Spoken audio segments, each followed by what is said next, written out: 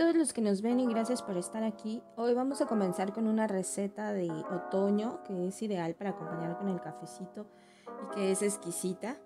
Es el pie de calabaza que vamos a utilizar nuestras calabazas que nos quedaron de la celebración de Halloween y los ingredientes que vas a necesitar es agua hirviendo para poner tu calabaza ahí a que se cueza. También puedes usar la calabaza así cruda, yo ya he hecho el pie con la calabaza así directamente mezclada con los demás ingredientes e igualmente queda deliciosa. Los demás ingredientes son media taza de azúcar, vas a necesitar dos huevos, crema que también puedes sustituir por leche condensada y especias como nuez moscada, clavo y canela para darle ese sabor delicioso que es característico del otoño.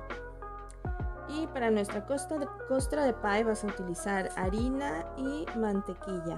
También lo puedes hacer con otras recetas de costra de pie. Pero bueno, esta es la más sencilla, así que estos son los dos ingredientes que yo voy a utilizar. Vamos a empezar colocando nuestra calabaza en la olla con el agua hirviendo para que se cueza. Vamos a comenzar colocando nuestra calabaza en la olla, acomodando bien los trozos es así con la cáscara la ponemos boca abajo para que se cueza bien la carne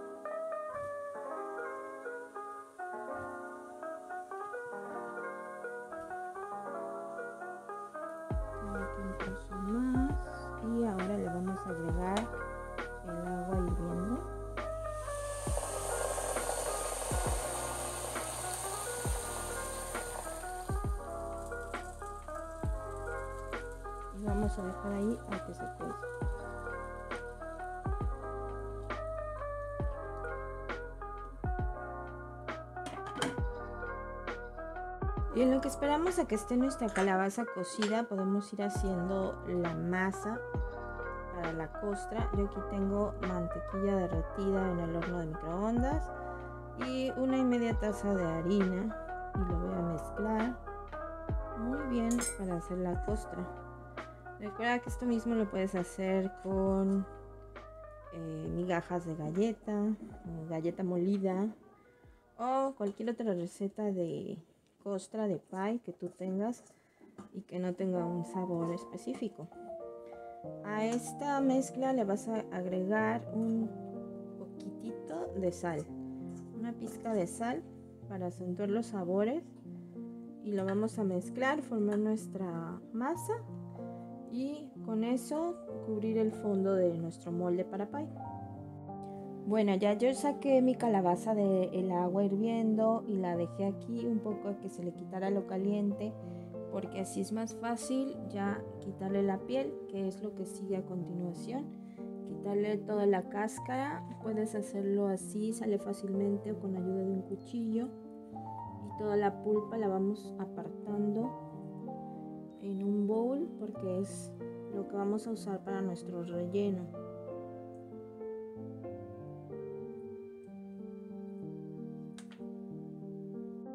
Ya tengo aquí la pulpa de calabaza lista en la licuadora para ser molida, pero antes de eso voy a batir mis dos huevos.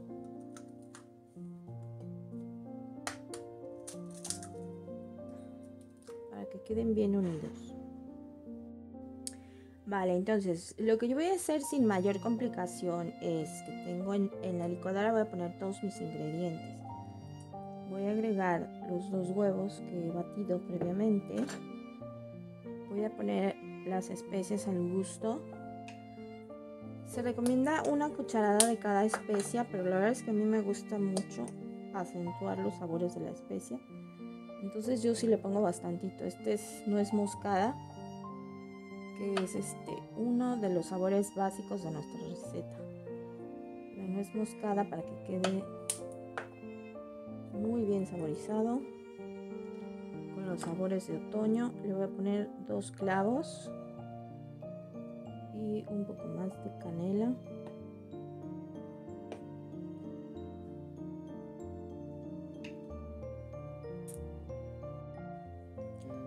les digo, esto ya es a gusto de cada quien. A mí me gusta con bastantita especia. Entonces, pues ahí le van midiendo. Luego no se nos olvide nuestra media taza de azúcar. Y por último le vamos a, agregar la cajita de crema o la tres cuartos de lata de leche carnation, lo que tengas a la mano.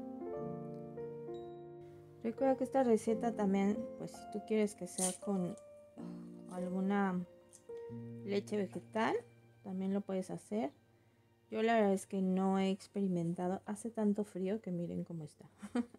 y bueno, ya tengo aquí yo todo licuado y tengo mi costra que hice para pay y que la metí un momento al refri. En lo que estaba esto, en lo que tú licúas puedes rectificar el sabor, puedes checar si le falta nuez moscada, canela, azúcar, eh, más clavo. Es lo que yo fui haciendo mientras lo licuaba, lo iba probando y como a mí me gusta muy especiada, le agregué más de todas las especias. Entonces ponemos esto, ahora sí con mucho cuidado, sobre nuestra costra. Dejamos que se acomode solito. Y como les comenté, el horno tiene que estar ya previamente calentado a 200 grados por 45 minutos. Y ahora vamos a hornear a esa temperatura por 15 minutos. Y después le vamos a bajar al horno a 150 grados y lo vamos a hornear aproximadamente puede ser una hora más o a veces hasta dos horas depende del horno. Entonces tú tienes que ir viendo con un tenedor o con un, palillo ir verificando cuánto le falta a tu pie para que esté listo pero aproximadamente ese es el tiempo entonces esto ya se va al horno.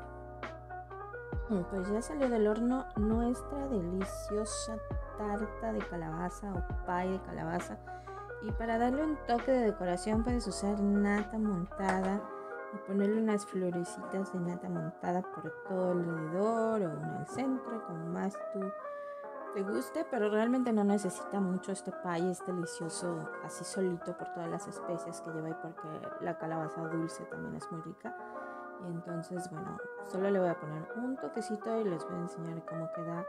Métanlo al refri porque frío este pie sabe muy muy bien. Mmm, ¿cómo es esta delicia? Así es como queda nuestro pie ya decorado con su nata montada.